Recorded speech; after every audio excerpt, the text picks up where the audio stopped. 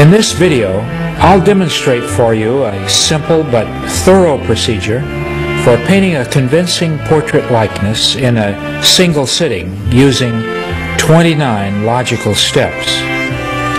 I hope you'll watch the demonstration in its entirety and then give the 29-step method a thorough trial. Perhaps you'll end up with a less structured approach. But I can guarantee that the method shown here has worked well for me and many other artists during my 30 years of teaching. I think you'll agree that this is a really good disciplinary exercise.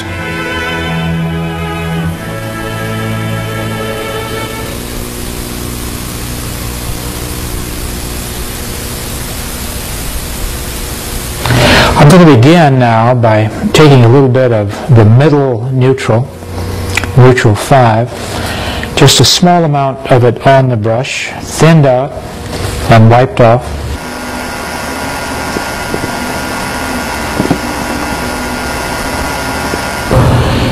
Step one involves uh, establishing the size and placement, and we do that with simply four strokes.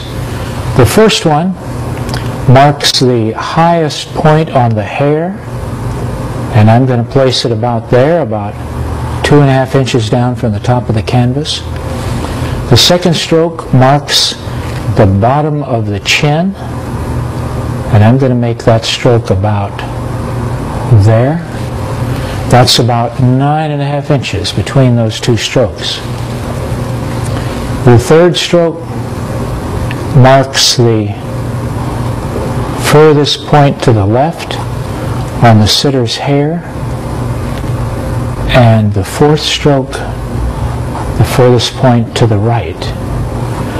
Just four strokes, but they establish the size of the main image and its placement on the canvas.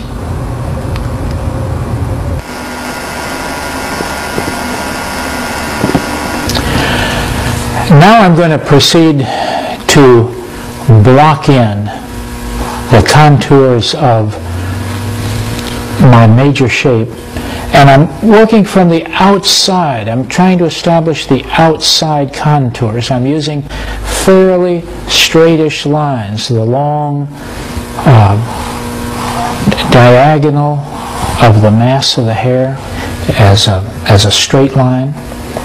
On this side, the uh, long diagonal of the mass of the hair. The um, vertical of the um, of the neck where it meets the chin. The uh, V of the of the neckline and uh, the large, uh, very distinctive shape of the of the mass of the hair, trying to uh, trying to express it in almost uh, abstract, sort of poster-like shapes, rather than concern for the detail. Establishing that outer contour of my main shape is step number two.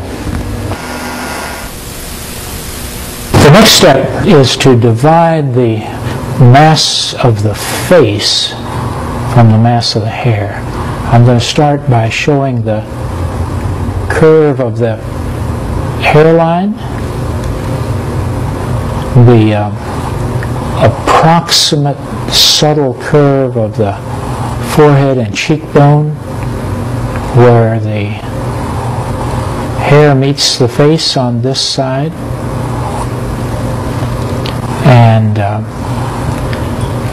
just uh, essentially as an oval the uh, curve of the lower portion of the face and the jawline now we have our two main shapes, the shape of the face and the shape of the hair.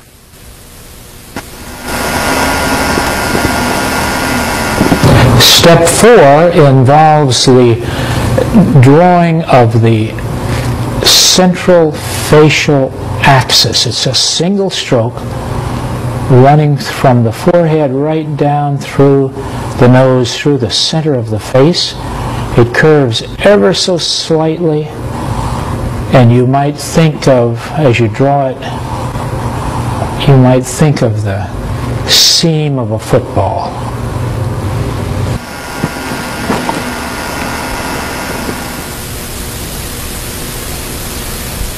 In this step, we're going to add landmarks to our to our map, to our layout. And I'm going to start with a, a an axis, a line running horizontally